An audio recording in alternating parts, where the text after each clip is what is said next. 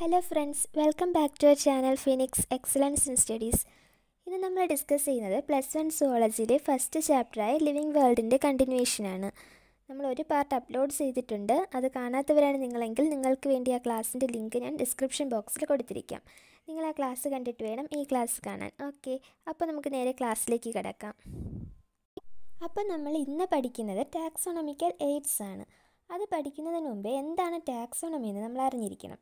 എന്താണ് taxonomy classification of living organisms into different taxa based on some characteristics is called taxonomy classification of living organisms into different taxa based on some characteristics is called taxonomy ചില സ്വഭാവ സവിശേഷതകളുടെ പശ്ചാത്തലത്തിൽ ജീവനുള്ള ജന്തുക്കളെ വിവിധ ടാക്സോണുകളായി തരംതിരിക്കുന്നതിനെയാണ് നമ്മൾ taxonomy എന്ന് പറയുന്നത്. ഓക്കെ സോ ഇനി നമ്മൾ പറയുന്നത് ടാക്സോണമിക് സ്റ്റഡീസിന്റെ യൂസസ് ആണ്.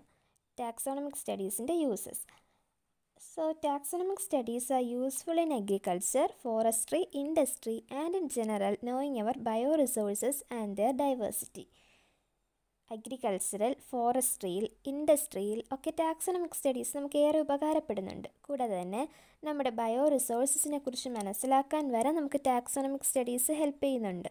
അപ്പോൾ എന്തൊക്കെയാണ് taxonomic സ്റ്റഡീസിന്റെ uses taxonomic studies are useful in agriculture forestry industry and in general knowing our bio resources and their diversity okay next these studies അതായത് taxonomic studies would require correct classification and identification of organisms these studies അതായത് taxonomic studies require correct classification and identification of organisms taxonomic സ്റ്റഡീസിൽ വിവിധ സ്റ്റെപ്പുകളുണ്ട്.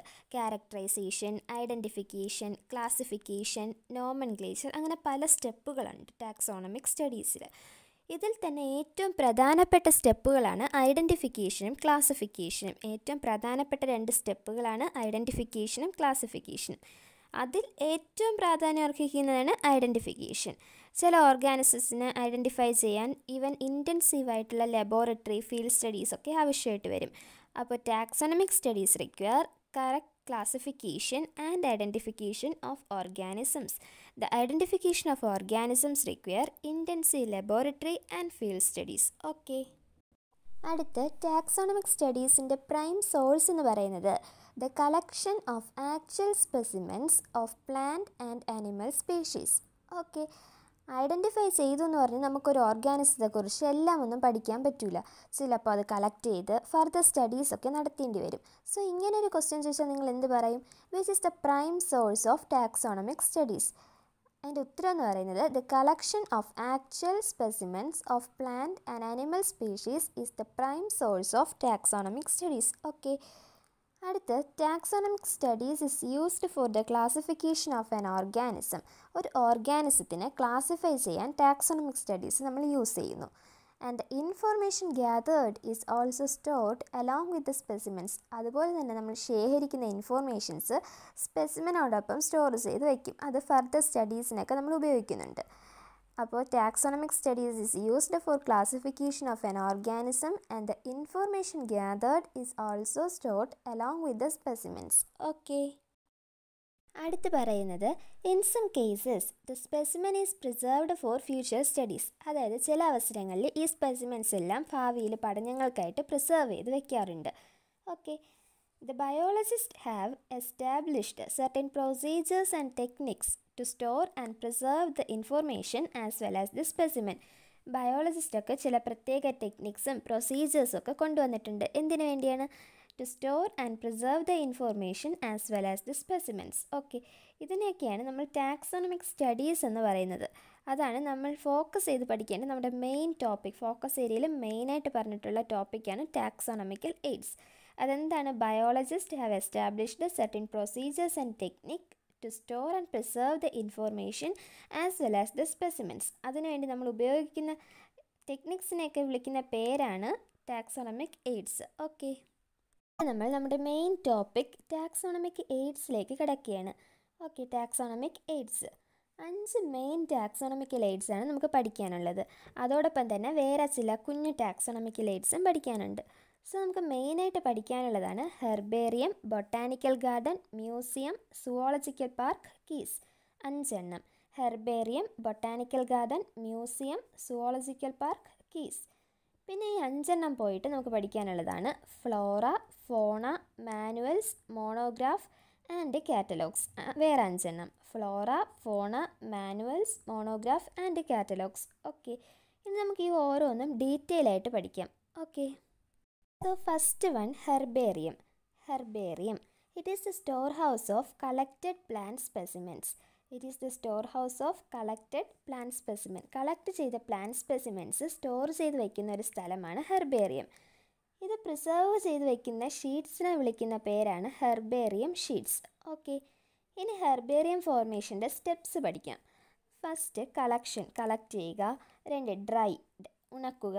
പിന്നെ press and then preserved on sheets press ചെയ്ത് ഷീറ്റ്സിൽ preserve ചെയ്ത് വയ്ക്കുക and now arranged according to the universally accepted system of classification അതായത് binomial system of classification അനുസരിച്ച് arrange ചെയ്യുക. Okay അപ്പോൾ എന്തൊക്കെയാണ് herbarium ഫോർമേഷന്റെ steps collection dried pressed preserved on sheets and arranged according to the universally accepted system of classification ഒന്നും കൂടെ പറയാം. Collection dried pressed preserved on sheets and then arranged according to the universally accepted system of classification okay ഇനി ഹെർബേറിയത്തെക്കുറിച്ച് പറയുന്നത് it is the storehouse or repository for future use okay it is the storehouse or repository for future use okay അതുപോലെ തന്നെ it is used as a quick referral system in the taxonomic studies it is used as a quick referral system in the taxonomic studies അതായത് taxonomic സ്റ്റഡീസിൽ ഒരു quick referral system ആയി use ചെയ്യുന്നു. Future റെഫറൻസിന് നമുക്ക് എടുത്ത് നോക്കാൻ വേണ്ടി ഫ്യൂച്ചർ റെഫറൽ സിസ്റ്റമായിട്ട് അത് യൂസ് ചെയ്യുന്നു. ഓക്കെ ഇനി നമുക്ക് പഠിക്കേണ്ടത് ഹെർബേറിയം ഷീറ്റിൽ എന്തൊക്കെ ഇൻഫോർമേഷൻസ് ആണ് ഉള്ളത് എന്നാണ്. The herbarium sheets carry a label providing information about the herbarium sheet carry a label providing information about the date and place of collection എന്ന് കളക്ട് ചെയ്തു എവിടെ നിന്ന് കളക്ട് ചെയ്തു അങ്ങനത്തെ ഇൻഫോർമേഷൻസ് ഒക്കെ കള കാണും. അതുപോലെ തന്നെ English local and botanical name ഒരു പ്ലാന്റ് ആണ് കളക്ട് ചെയ്യുന്നതെങ്കിൽ അതിന്റെ English name local name botanical name ഇതൊക്കെ കാണും. അതുപോലെ തന്നെ എന്റെ ഫാമിലി നെയിം കാണും. അതുപോലെ ഇത് ആരാണ് കളക്ട് ചെയ്തത്? കളക്ട് ചെയ്ത ആളുടെ നെയിമും കാണും. ഓക്കെ അപ്പോൾ the herbarium sheets carry a label providing information about the date and place of collection English local and botanical names family and the collector's name okay നമ്മൾ നമ്മുടെ ഫസ്റ്റ് ടാക്സോണമിക് എയ്ഡായ ഹെർബേറിയം പഠിച്ചു കഴിഞ്ഞു. ഇനി സെക്കൻഡ് വൺ നമുക്ക് പഠിക്കാനുള്ളത് botanical gardens ആണ്. Botanical gardens these are specialized gardens having collections of living plants for reference. These are specialized gardens having collections of living plants for reference അതായത് botanical gardens എന്ന് പറയുന്നത് ഒരു പ്രത്യേക പ്രത്യേകതരം ഗാർഡനാണ് അവിടെ ലിവിങ് പ്ലാന്റ്സിന്റെ ഒരു കളക്ഷനാണ് ഉള്ളത്. അതെന്തിനു വേണ്ടി യൂസ് ചെയ്യുന്നു? റെഫറൻസിന് വേണ്ടി യൂസ് ചെയ്യുന്നു. Okay plant species in these gardens are used for identification purposes അതായത് ഈ ഗാർഡനിൽ ഉള്ള പ്ലാന്റ്സ് എല്ലാം ഐഡന്റിഫിക്കേഷൻ പർപ്പസിന് വേണ്ടി യൂസ് ചെയ്യുന്നുണ്ട്. Okay the plant species in these gardens are used for identification purposes അടുത്ത് next each plant is labelled indicating its botanical or scientific name and its family botanical അല്ലെങ്കിൽ സയന്റിഫിക് നെയിമും ഫാമിലിയും ഉൾപ്പെടെയാണ് ഓരോ പ്ലാന്റും ലേബൽ ചെയ്തിരിക്കുന്നത്. ഓരോ പ്ലാന്റിലും അതിന്റെ ബൊട്ടാനിക്കൽ അല്ലെങ്കിൽ സയന്റിഫിക് നെയിമും ഫാമിലിയും ഉൾപ്പെടെ ലേബൽ ചെയ്തിട്ടുണ്ട്. അപ്പോൾ എന്താണ് botanical gardens? These are specialized gardens having collections of living plants for reference അതുപോലെ തന്നെ the plant species in these gardens are used for identification purposes each plant is labelled indicating its botanical or scientific name and its family okay.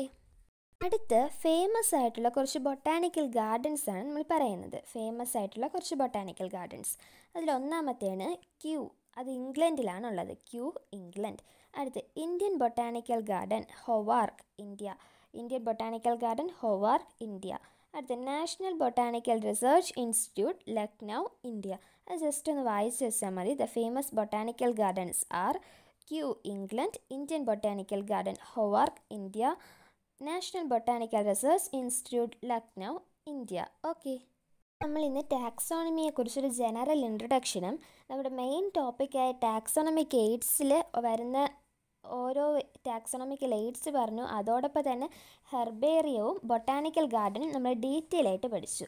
So ഇത്രയും നിങ്ങൾ നന്നായിട്ട് പഠിക്കുക. ഇതിന്റെ balance topic ഇന്ന് തന്നെ നമ്മൾ അപ്ലോഡ് ചെയ്യും. സോ നിങ്ങളെല്ലാവരും ആക്റ്റീവായിരിക്കുക അതുപോലെ തന്നെ ഈ വീഡിയോ ഇഷ്ടപ്പെട്ടാൽ നിങ്ങൾ ലൈക്ക് ചെയ്യണം ഫ്രണ്ട്സിനൊക്കെ ഷെയർ ചെയ്ത് കൊടുക്കണം. പിന്നെ സബ്സ്ക്രൈബ് ചെയ്യാനും മറക്കല്ലേ. അപ്പോൾ നമ്മൾ അടുത്ത വീഡിയോയിൽ വീണ്ടും കാണാം. Stay home stay safe have a nice day